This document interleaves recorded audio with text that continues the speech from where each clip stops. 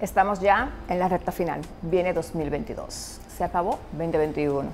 ¿Y qué pasa cuando estamos en esta misma recta final cada año? Que siempre nos transformamos, siempre elevamos nuestras expectativas, creamos planes y creemos que el Dios Jano va a transformarnos justamente el 31 a las 12, se borra toda nuestra historia y inicia una nueva historia desde cero, un nuevo yo. Me inscribo en el gimnasio, trato de llevar una dieta, un nuevo proyecto, todo un sinnúmero de planes y estrategias. Pero ¿qué pasa? Solemos olvidar que tenemos que cerrar ciclos. Si yo no cierro ciclos de mi vida, yo me los llevo al siguiente año. El Dios Jano no va a venir a cancelarme ese ciclo que me genera malestar, angustia y me lo va a borrar como que si fuera liquid paper. No. Uno tiene que aprender que cerrar ciclo es un acto personal, individual, y que cada ciclo que cerramos es una oportunidad de crecimiento, es una oportunidad de uno vivir menos cargado, aligerar la carga, y tenemos que tomar medidas con este tema.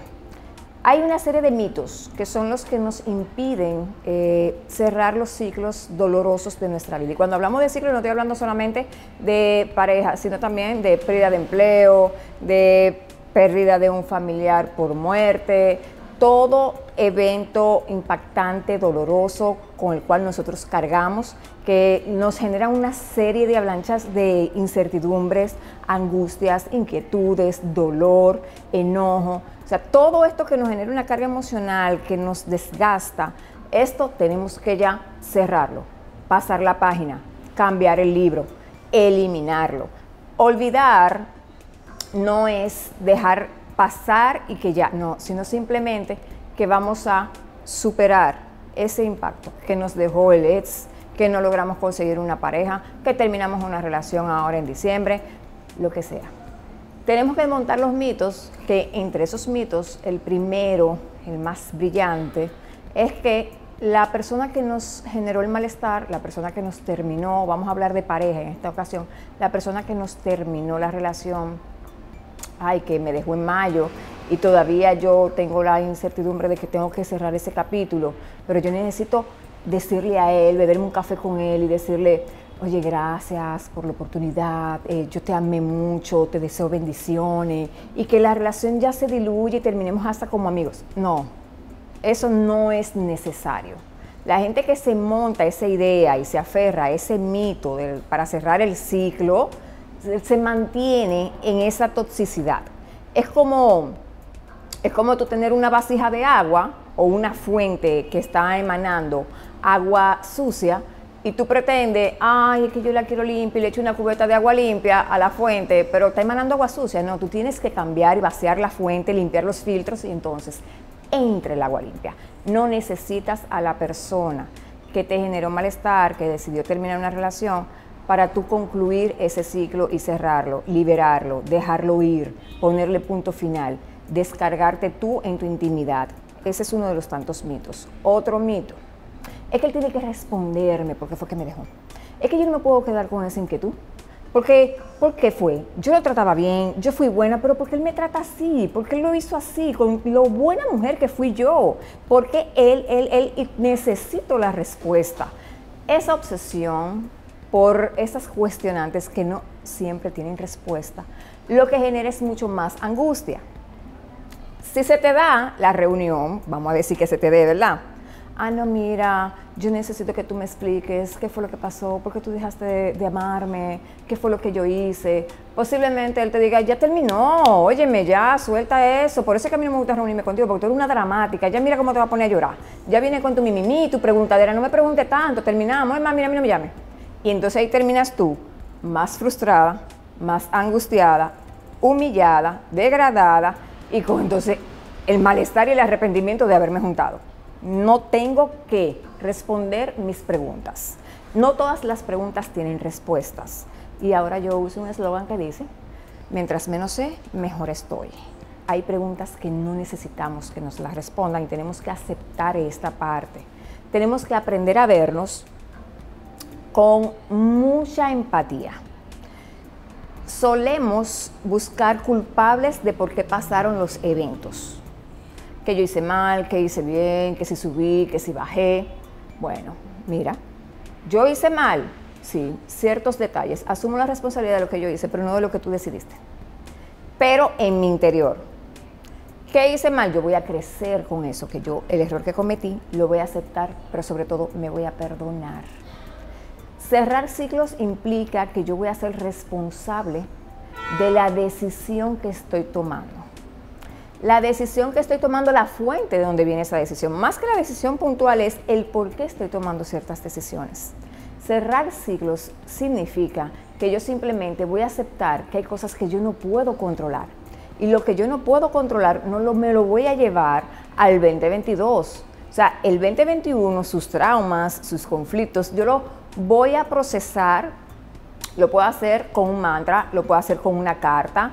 Eh, cuando hablo de un mantra es, por ejemplo, para las personas que terminaron una relación, que están pasando por este proceso de dolor, es simplemente verbalizar.